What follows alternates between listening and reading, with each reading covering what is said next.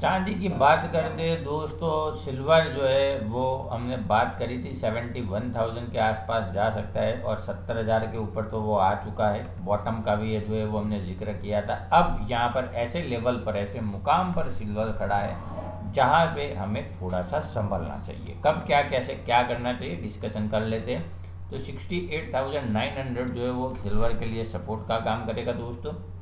अगर हम ये सपोर्ट नीचे सिल्वर में काट देते हैं तो फिर sixty eight thousand five fifty का लेवल देखने को मिल सकता है। वो लेवल अगर नीचे की तरफ़ जो है वो सिल्वर काटता है तो फिर sixty eight thousand fifty final रहेगा। फाइनल लेवल काटने के बाद sixty seven thousand six fifty से लेके sixty seven thousand three hundred के जो लेवल है, वो हमें देखने को मिल सकते हैं। तो सपोर्ट के ऊपर जो है वो दोस्तों हमें खास ध्यान रखना होगा सिल्वर में।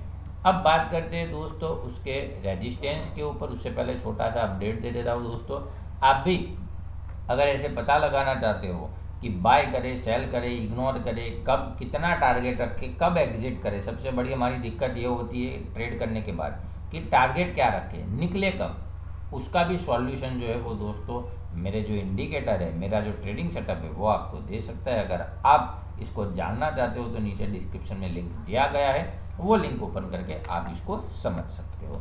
अब बात करते हैं रेजिस्टेंस के ऊपर दोस्तों तो रेजिस्टेंस रहेगा sixty nine thousand five hundred का लेवल उसके ऊपर चलते हैं तो दोबारा जो है वो हमें sixty nine thousand nine fifty सत्तर हज़ार के आसपास का लेवल देखने को मिल सकता है। वो लेवल ऊपर काटने के बाद सत्तर हज़ार चार सौ पचास फाइनल रहेगा।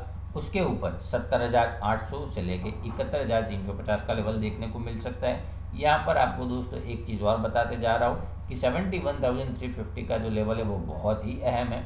वो लेवल अगर ऊपर की तरफ़ काट के सस्टेन करता है, रुकता है क्लोजिंग कर देता है, वो लेवल के ऊपर वन डे का और शुक्रवार का भी फाइनल क्लोजिंग वीकली तो फिर शॉर्ट से अवॉइड कर देना, क्योंकि वो लेवल के ऊपर ये बहुत ही ज़्यादा बवाल मचाएगा और लगभग लगभग पचहत्तर हज़ार, अस्सी हज़ार, एक लाख पे पार भी जा सकते हैं। आपको याद होगा दोस्तों, एक लाख की बात हमने आज से डेढ़ महीने पहले कर दी थी, जब ये सिल्वर 64 65 के आसपास चल रहा था, यहाँ पर ये लेवल के आसपास।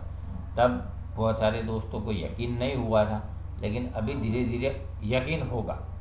कब होगा? जब इकहत्तर हज़ार तीन सौ पचास के लेवल के ऊपर जाके शुक्रवार का क्लोजिंग हो जाएगा, तब की चर्चा कर रहा हूँ दोस्तों। मेरी बातों को जो है वो ध्यान से सुनिए। वीडियो को दो बार, तीन बार रिपीट करके सुनोगे तो आपको जो है वो सही जानकारी मिल जाएगी कि क्या होगा, कैसे होगा, क्योंकि मैं सीधा सीधा साफ़ बोल देता हूँ। ये हो सकता है, इसकी संभावना है, कोई घुमा फिरा के बात नहीं है, सीधी काम की बात। ठीक है?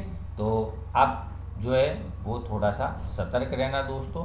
मेरे इंडिकेटर का लाभ ज़रूर लीजिए। आपको गारंटी के साथ कहता हूँ दोस्तों, उसका बेनिफिट आपको ज़रूर होगा। अब मिलते हैं दोस्तों अगले वीडियो के अंदर। वीडियो अच्छा लगा हो तो लाइक ज़रूर कर देना। अपने दोस्तों के साथ शेयर कर देना। चैनल पे पहली बार आए हो तो सब्सक्राइब ज़रूर कर लेना।